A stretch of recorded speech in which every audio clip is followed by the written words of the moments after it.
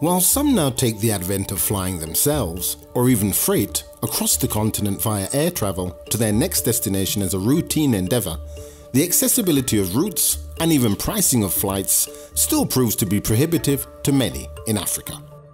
With the challenges identified, the introduction of the single African air transport market is heralded as a new era for African aviation that will play a pivotal role not only in connecting Africa, but in turn supporting economic, social, and political integration across the continent.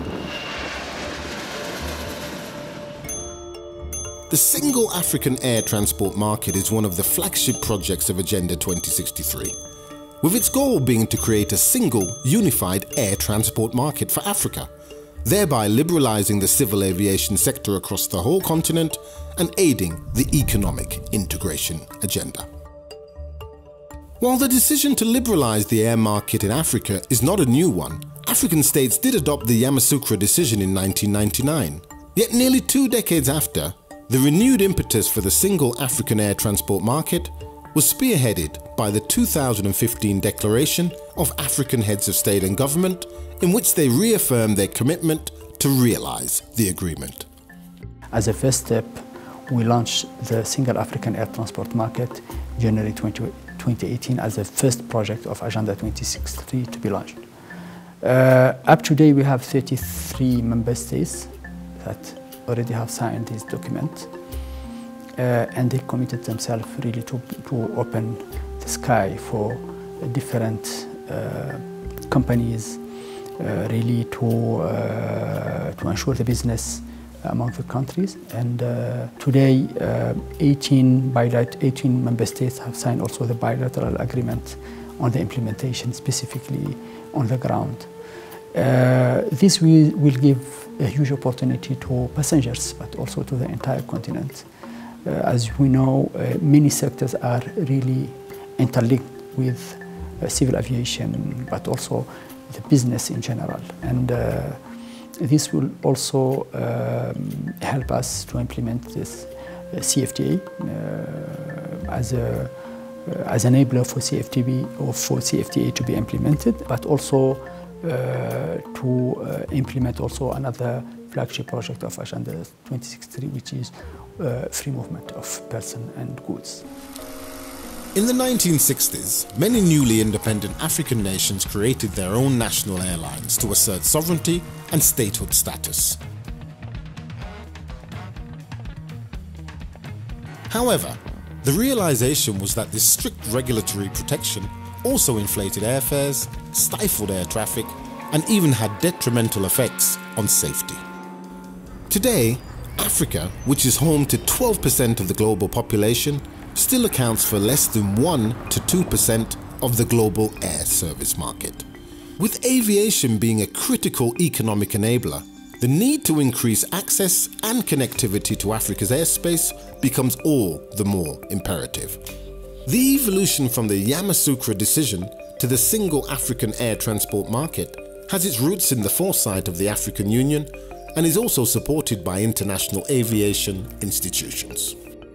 IATA noticed uh, since uh, 2014 that uh, the African Union's um, decision to open up the African air transport market was not gaining traction. Uh, simply because a lot of countries signed the Yamoussoukro decision, but Im implementation was becoming an issue.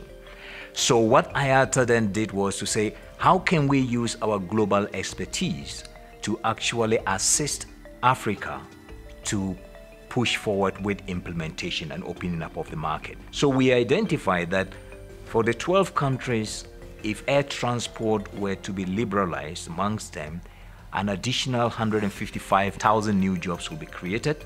1.3 billion will be added to the GDPs of the 12 countries, and it would make travel much more easier, cost effective, and make it competitive.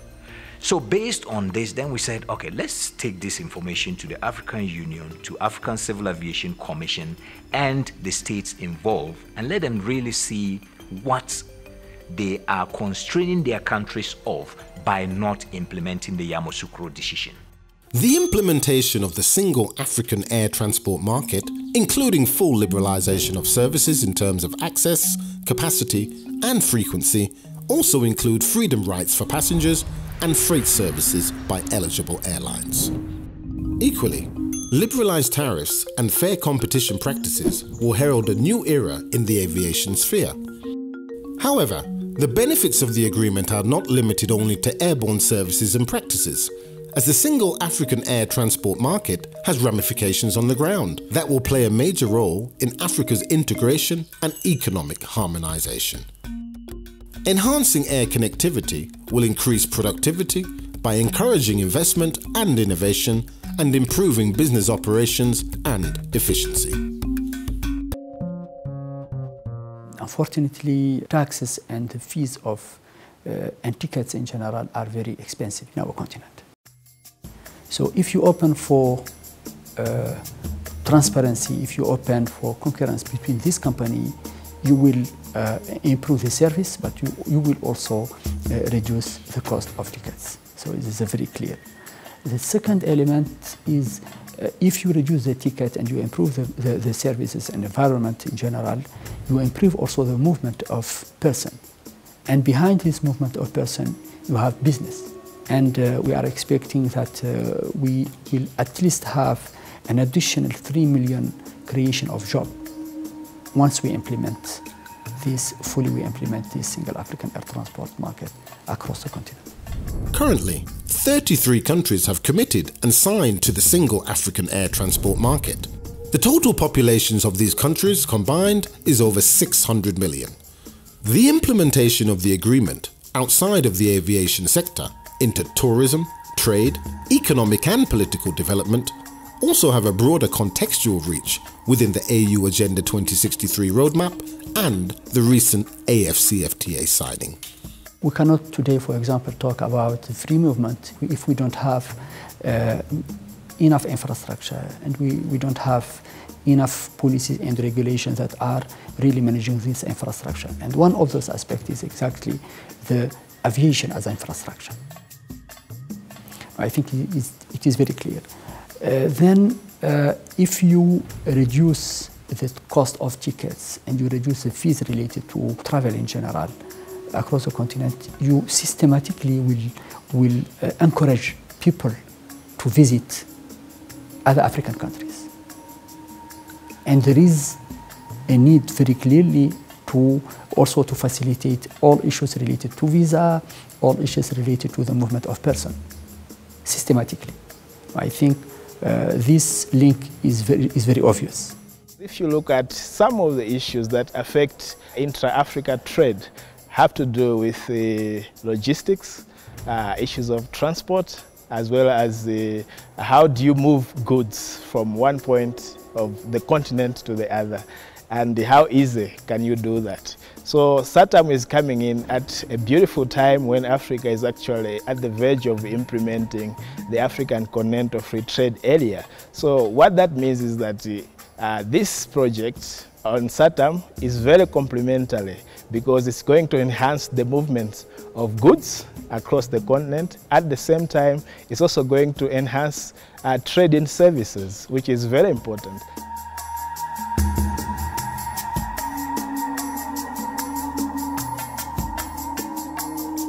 Either people going to consume a service abroad, uh, like going out for tourism, and at the same time, it also involves people going to deliver a service in another country. So SAATM is coming in at this right and uh, brilliant time because it's going to enhance the free movement of people. So I would say that uh, this is a welcome development and uh, at, at the African Union Commission, we are looking forward to having more countries participate in the SAATM project, to join this project, to join this single air transport market. While the coronavirus pandemic has ground to a halt the global aviation industry, endeavors such as the single African air transport market could prove an invaluable tool in insulating the region while the long road to recovery is underway. Well, uh, coronavirus is a global pandemic now and uh, the air transport sector globally is, is actually uh, suffering significantly. Uh, load factors have dropped and businesses are being cancelled. Africa is no exception. In the long run, yes, we expect the African single, single African air transport market to actually insulate and support African connectivity if even the international connectivity at some point is curtailed. The coalescing of the aviation sector into Agenda 2063 means a comprehensive framework of trade, people, and free movement will have the ability of increased economic opportunity and activity across all parameters of the economic landscape. Examples from other regions and partners in building successfully integrated aviation transport sectors and markets are also valuable templates. The European Union in this regard is supporting the implementation of the single African air transport market, offering valuable insight and experience. Having witnessed the importance of these sectors in, in, integrating Europe, we are very happy to share our experience. The African population is today approximately 17.5% of the world. Aviation counts 2-4% of the market. So obviously there is a huge need for, uh, for improvement there. Until a few years ago, almost every time you wanted to fly from one side to, of Africa to the other, you would have to go uh, via Europe. And um, obviously this adds cost, time, and so forth. Recently, there are, uh, there are emerging successes, uh, particularly the one in this country with Ethiopian Airlines, who has invested in becoming a hub for African transport, and the benefits are visible to, uh, to all. Now, I think the benefits are we would not have safety standards as we have in Europe if we were not integrating. Our member states would not have had the, the requirement to, in, to raise their standards unless there was a single market as an incentive. And this will happen also to Africa. So the possibility of looking at consumer protection standards, environmental standards, these are all high benefits, great benefits that Africa could get. And this is even more important, obviously, in a continent that suffers a huge gap in infrastructure. So if you cannot travel by car, by railway, by ship from one point or the other, the airplane becomes the only uh, source of, of uh, for you to move from one part to the other. So there is a, there is a huge gap in Africa. It's been reduced, and obviously this will become more and more important. And the benefits of a single market will be even greater than what we witness in Europe. Implementation of the agreement not only has its advantages for technical partnerships, but also for improving overall capacity of the aviation sector in Africa with multi-sector collaboration and promotion of African airline cooperation. In addition, increased competitiveness should also yield a direct cost benefit for African air travellers in terms of routes, costs, and crucially, also increase industry capacity in the aviation market through the harmonization of procedures and training. We are training people among our countries on how to operate the market, on how to deal with dispute if there is any, and how to also to, to, to go and to before arbitration, how to go before them and how to advocate for themselves, on how to reduce the cost, on how to make them harmonized across the continent. So there is a lot of steps and in which in each of them you, you, you, you can uh, encounter on a daily basis also these challenges. I think uh, most important, political commitment is very high around this project. With the growth of the airline industry in Africa continuing, air transport currently supports 6.2 million jobs and 55.8 billion in African economic activity, making up 1.8% of all employment and 2.6% of all GDP in African countries. Airlines will be able to benefit from a regulatory framework that allows reciprocal connectivity across the continent. If we improve connectivity as a result of a single African air transport market, we are going to shorten travel times and reduce the cost of travel. Two, we are going to stimulate additional demand of getting more passengers to travel. Passengers who today are unable to travel because it is expensive to do so. Okay? And uh, thirdly, we think that with an open air transport market on this continent, we are going to see many more airlines working together. The load factors, which currently are the Africa region has the lowest average load factors of all the world aviation regions at about under 70%. So we expect to see that load factors will improve and by extension, airlines in Africa will begin to make money. Now, we also expect to see a growth in the number of people who will be directly and indirectly employed in the African markets. And the, most importantly, the continental free trade area, which uh, the AU is pushing, would actually be enhanced by improved connectivity.